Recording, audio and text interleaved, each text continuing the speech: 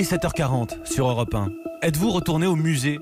Peut-être que vous devriez. Il paraît que sans les touristes étrangers, les conditions sont idéales pour une visite. Mon invité Jean-Luc Martinez, le président du musée du Louvre. Le tête-à-tête. Mathieu Béliard. Bonjour Jean-Luc Martinez. Bonjour. Je voulais justement commencer par là et ce sera plus positif finalement pour nos auditeurs. Est-ce que c'est vrai qu'en ce moment, dans les allées du Louvre, c'est plus confortable que jamais? C'est l'occasion peut-être de voir les œuvres comme on ne les a jamais vues? C'est vrai, vous savez, le musée, c'est un très très grand musée, hein, c'est un palais, donc avec court, avec des arbres, euh, la grande galerie porte bien son nom, le, le, le salon carré, voilà. Mais c'est vrai que même dans la salle de la Joconde, vous arrivez dans la journée à être presque seul devant euh, le tableau le plus célèbre du monde. Donc voilà, c'est le moment de venir précieux. la voir. C'est précieux, oui. Enfin, nous, c'est vrai que nous, nous sommes Pour vous, c'est compliqué. On va, on, va, on va y venir justement. Je pense à nos auditeurs qui pourraient aller au Louvre. Un peu plus d'un demi-million de visiteurs cet été le musée du Louvre a vu sa fréquentation dégringoler. On s'y attendait. 75% en juillet, 60% en août par rapport à l'année dernière. C'est l'absence de touristes étrangers hein, qui vous coûte. C'est très particulier au Louvre et aussi à Versailles, mais aussi aux très grands musées dans le monde comme le Metropolitan. C'est-à-dire que euh, une partie de nos visiteurs, la plus grande partie de nos visiteurs euh, l'été notamment, est extra-européenne. Ce sont euh, les États-Unis, la Chine, le Brésil, la, le Corée, la Corée. Voilà. Donc, alors voilà, nous le savions. Donc nos estimations se sont révélées exactes. Ces, ces visiteurs n'étaient pas là. Au-delà donc des, des visiteurs français qui eux étaient là et des visiteurs européens qui également hmm. étaient là. C'est ce que nous disaient précisément les, les, responsables de la Tour Eiffel où nous étions mercredi matin. Près de 80% de Français, beaucoup de visiteurs gratuits aussi au Louvre il faut le souligner. Oui, parce que euh, on, l'oublie, euh, les musées nationaux sont gratuits pour les moins de 26 ans, donc pour une sortie familiale, c'est une sortie euh, finalement à coût réduit. Et on pense souvent que les musées anciens sont sont peu populaires, fréquentés que par des personnes plus âgées et cultivées. C'est faux. Enfin, il y a des gens bien plus âgés et cultivés. Mais par exemple au Louvre cet été, on a accueilli plus de 60% de jeunes de moins de 30 ans. voilà, le musée du Louvre, c'est aussi un musée où se rencontrent les générations. On, en a beaucoup parlé pendant le confinement. Vous avez euh, pallié ce, confinement avec des visites euh, en ligne. Euh, ça a très bien marché au printemps, on en avait parlé. Mais Jean-Luc Martinez, entre nous, on est d'accord que c'est pas pareil. C'est pas la même chose, en effet, parce que rien ne remplace la, la visite en vrai, c'est-à-dire la rencontre avec la matérialité d'une œuvre, mais aussi avec les gens parce que je voudrais dire quand même qu'un musée vide, c'est pas la destination d'un musée, quoi. Donc c'est pas la mission d'un musée.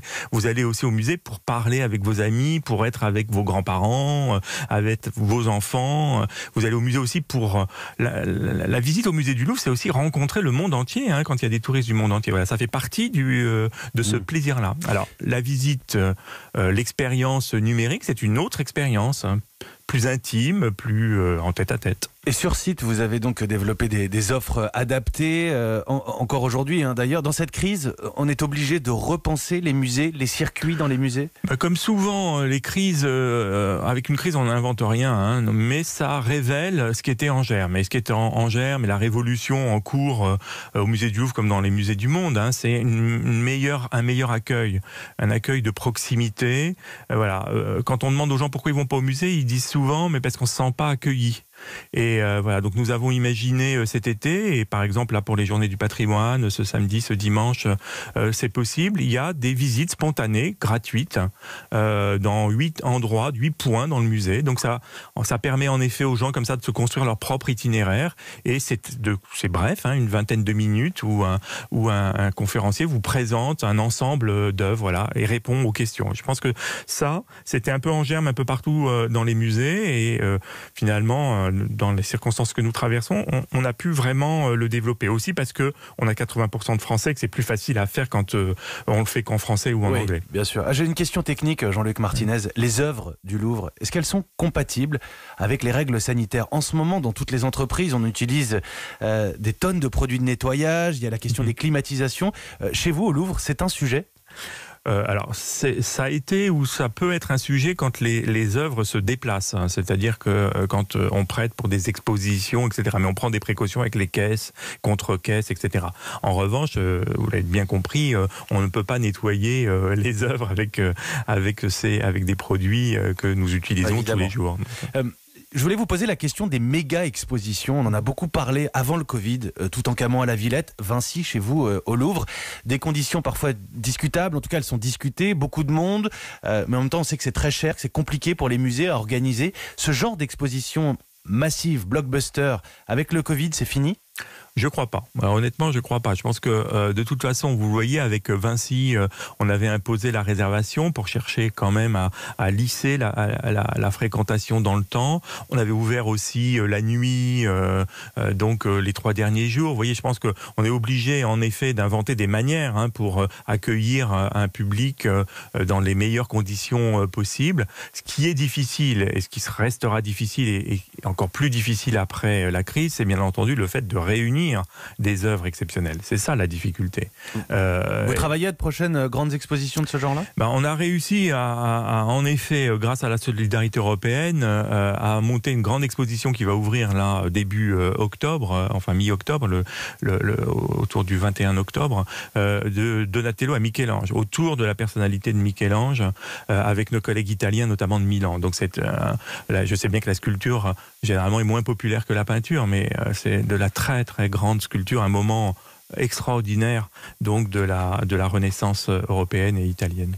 C'est une crise singulière hein, que nous traversons. C'est un euphémisme. On, utilise beaucoup l'emphase aussi, spectaculaire, inédite, historique. Rien que le mot crise en lui-même. Bon. Est-ce qu'il y a à vos yeux, à froid ce matin, Jean-Luc Martinez, une œuvre qui incarne, qui, bon, qui vous est inspirée par cette situation? À laquelle vous penseriez? Euh, Honnêtement, je pense que Léonard de Vinci, pour revenir hein, toujours au, même, euh, a vécu dans une période de crise aussi profonde. Euh, il a été balgué comme ça, donc entre plusieurs pays, plusieurs régions, etc. Et la Sainte-Anne, qui est une œuvre incroyable, hein, Sainte-Anne, donc la, la, mère de Marie, tenant Marie sur ses genoux, elle-même tenant son fils Jésus. Donc ces trois générations, je pense, c'est un beau symbole à la fois euh, de la transmission, de ce qu'est un musée. Un musée, c'est un lieu aussi où les générations se rencontrent, et aussi de la proximité, parce que Léonard a voulu représenter la vie même. Et euh, c'est l'occasion de dire aussi que, vous voyez, on peut être présent aussi par le cinéma en ce moment, le film. Euh, donc Léonard de Vinci est sur les écrans grâce à Pathé c'est aussi un moyen d'être proche euh, des gens. Et je pense que ce, tableau euh, qui nous vient, vous voyez, qui a, survécu, euh, qui a cinq siècles, qui nous vient d'un très très lointain passé, il est aussi très proche de nous. Jean-Luc Martinez, vous êtes le président du musée du Louvre et donc ainsi le conservateur d'une immense partie du patrimoine de l'humanité. Est-ce que ça prend un sens particulier en ce moment? Ah oui, particulièrement avec euh, euh, les destructions qu'on a connues euh, dans les années 2010, mais aussi, vous voyez, en ce moment, avec ce qui se passe au Liban et la destruction de ce patrimoine. Alors, c'est vrai qu'on a une responsabilité particulière. Vous savez que grâce à l'association qui s'appelle Alif, le Louvre est aux côtés du Musée national de Beyrouth, par exemple, en ce moment. Hein, donc, mes équipes sont sur place à faire des choses simples, hein, réparer les, fenêtres, les, les, les portes. voilà, pour dire, voilà, ce patrimoine, bien sûr qu'il appartient aux Libanais, mais il est aussi pour toute l'humanité. Et c'est un peu le sens d'un musée universel comme le Louvre. Donc euh, voilà, ce patrimoine, il est pour tout le monde. Jean-Luc Martinez, je le disais, le Louvre ne participe pas à proprement parler aux Journées du patrimoine, si ce n'est via le Jardin des Tuileries, pour lequel d'ailleurs vous lancez une grande opération de mécénat. L'idée, c'est de redonner aux Tuileries leur splendeur d'avant la Révolution avec le dessin d'André Lenôtre. Je voulais le mentionner, cette opération de mécénat pour euh, replanter des arbres. Et puis d'André Lenôtre à Primoz Roglic. Hmm. Si on ne vient pas au, Louvre, on le verra dimanche. Le Tour de France passe chez vous pour la dernière étape euh, dimanche. Merci beaucoup, Jean-Luc Martinez. Merci à vous. Merci euh, d'être venu répondre à nos questions dans le studio d'Europe pour le tête-à-tête Europe Matin. Il est 7h48.